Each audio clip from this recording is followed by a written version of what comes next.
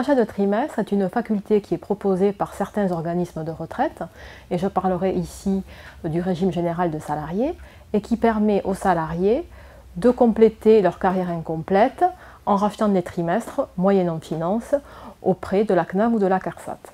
Et d'ailleurs, le terme consacré par l'assurance retraite n'est pas rachat de trimestre, mais versement pour la retraite.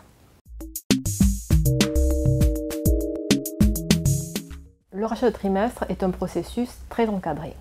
D'abord, il faut déterminer quels sont les trimestres que l'on peut racheter, parce qu'on ne peut pas racheter n'importe quel trimestre.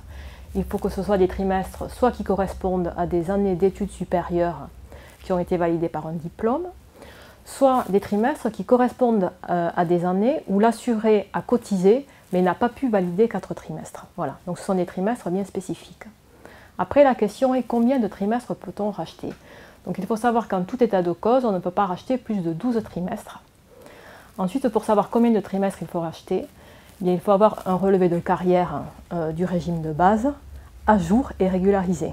C'est très important, il faut que le relevé de carrière soit bien à jour, ne comporte ni oubli ni erreur, sinon le compte peut être faussé.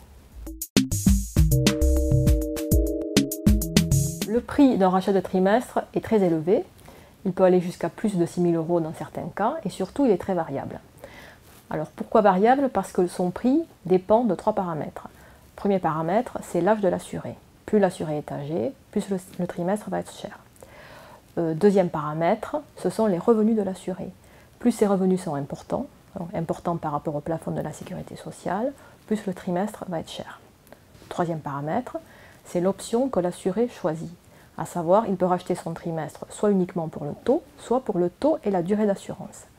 Alors s'il choisit l'option taux, cela veut dire que le trimestre qu'il va racheter aura un impact uniquement sur le taux de sa retraite, c'est-à-dire que ça va pouvoir effacer ou diminuer sa décote au régime de base et ses coefficients d'anticipation sur les régimes complémentaires.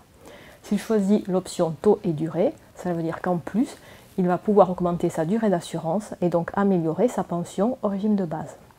Donc le coût est important, mais il est déductible de ses revenus et ce, sans limitation, sans plafond. Mon conseil, c'est avant toute chose de réaliser des simulations avant de se lancer dans cette opération coûteuse, euh, afin de calculer la rentabilité euh, d'une telle opération. Comment calcule-t-on la rentabilité? Il suffit de calculer l'augmentation euh, de son montant de retraite, tout régime confondu, après rachat des trimestres, de rapporter cette augmentation au coût du rachat et d'en déduire le nombre d'années qui est nécessaire pour amortir ce rachat moi, je considère que lorsqu'un rachat est amorti entre 5 et 10 ans, c'est une opération rentable. Au-delà, c'est à l'assuré de se faire son opinion qui, en fait, quelque part, fait un pari sur son espérance de vie. Alors en pratique, ce que je constate, c'est que ce sont des opérations très rentables quand l'assuré a beaucoup de points à GIRC tranche B, comme par exemple un cadre supérieur. Parce qu'à ce moment-là, euh, l'opération de rachat permet à la fois d'effacer la décote sur le régime de base, mais également les coefficients d'anticipation ARCO et surtout agir euh, tranche B où il y a un, impact beaucoup plus important. Euh, et par ailleurs, quand on a des revenus assez importants, ben, l'effet déductibilité de l'impôt sur le revenu prend tout son sens.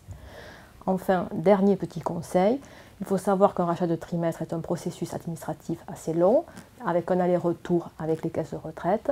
Donc il vaut mieux s'y prendre en début d'année pour être sûr que le rachat soit effectif avant la fin de l'année.